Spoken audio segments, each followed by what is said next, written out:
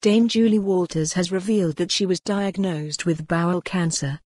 The Mamma Mia and Billy Elliot star's condition was discovered 18 months ago, after doctors found two primary tumors in her large intestine. The 69-year-old told the BBC's Victoria Derbyshire show that, following chemotherapy, she had been given the all-clear. Dame Julie also hinted that her next film, an adaptation of Frances Hodgson Burnett's classic novel The Secret Garden, could be her last.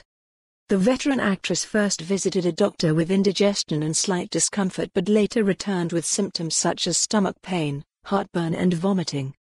She was referred to a gastric surgeon for a CT scan and later, while on the set of The Secret Garden, received a call asking her to go in.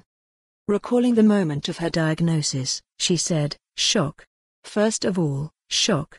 And I thought right, then you hold on to the positive which was that he said we can fix this. Dame Julie was diagnosed with stage 3 bowel cancer, which indicates the cancer has spread into nearby lymph nodes, and is one level below the most serious categorization. Dame Julie also remembered the moment she told her husband, Grant Roffey, the news.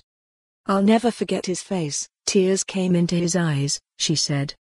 Despite remaining upbeat, Dame Julie said she thought well, I may not come round from the anesthetic while awaiting surgery. She said she had 30 centimeters taken out of my colon in hospital. Her recovery meant she had to be cut from some scenes in the forthcoming film The Secret Garden, where she stars alongside Colin Firth. Dame Julie said she also missed the premiere of Mamma Mia. Here we go again, with her agent telling people she had a ruptured hernia in order to keep the cancer diagnosis secret.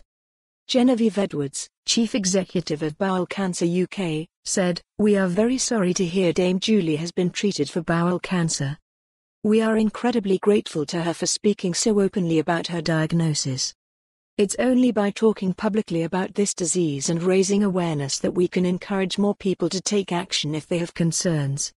Every year in the UK, nearly 42,000 people are diagnosed with bowel cancer, making it the UK's fourth most common cancer killer. Being aware of the symptoms and visiting your GP if things don't feel right can help increase chances of an early diagnosis. If you or your loved one receive a free NHS bowel cancer screening test in the post, completing it could save your life. For more on this story, visit the news article link.